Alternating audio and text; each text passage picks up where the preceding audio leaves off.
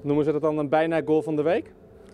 Ja, dat uh, denk ik dan. Hè. Ik denk als hij erin vliegt, dan uh, maak je denk ik wel een goede kans. Ik weet niet of hij zat, geen idee. Maar uh, ja, als hij erin vliegt, dan was het zeker een mooie goal geweest. Je dacht, ik probeer het even vanuit die hoek?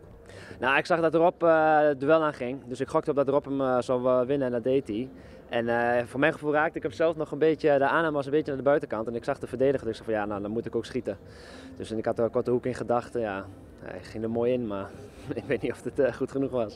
Het zou belangrijk geweest zijn hè, voor de wedstrijd. Ja, denk ik wel. Ik denk dat, ja, nou ja, goed, te maken dan, uh, ik vond verder dat ze niet echt de kansen hadden. Nou, de scores uit de corner, dat is zuur. Maar ik denk dat dit ook zo'n wedstrijd was. Uh, ja, wie als eerste scoort, die, die trok hem dan over de lijn. Het is jammer dat het dan zo snel uh, in de tweede helft die 1-1 viel. Anders nou ja, kun je hem nog een beetje vastzetten.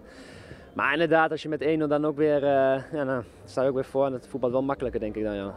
Wat gebeurde daar bij die 1-1 na rust? Ja, hij kwam ervoor en in, in de scrimmage ging hij erin. Volgens mij uh, in de kleedkamer zeiden ze dat uh, Metaille hem nog aanraakte. Maar ja, hij kon er ook verder niks aan doen. Dat, hij zag de bal denk ik ook niet, want er stonden ook mensen voor. Ja, en ging in de goal, dus ja, dat is zuur. Ben je dan ook heel erg van deze uitslag? Ja, eigenlijk wel. Ik denk als je de wedstrijd hebt gezien en, dan zie je gewoon met, uh, met, uh, met Walter, uh, met Sargon nog nou ja, 200% kansen. Ja, ik vind gewoon dat we hadden mo moeten winnen. En dan is het ja, 1-1 wel redelijk zuur en, dat je dat zo speelt. Had je daar van tevoren wel voor getekend? Voor 1-1? Nee, ik denk hier thuis tegen, tegen hun had ik wel minimale winst verwacht inderdaad. Ja. Je weet niet zo vaak van ze? Nee, dat, uh, dat hoorde ik ook al. Maar ja, hier thuis op zich zijn we daar wel aardig sterk. En uh, ik, we hadden ook wat goed te maken daaruit, want dat was ook niet, uh, was ook niet best.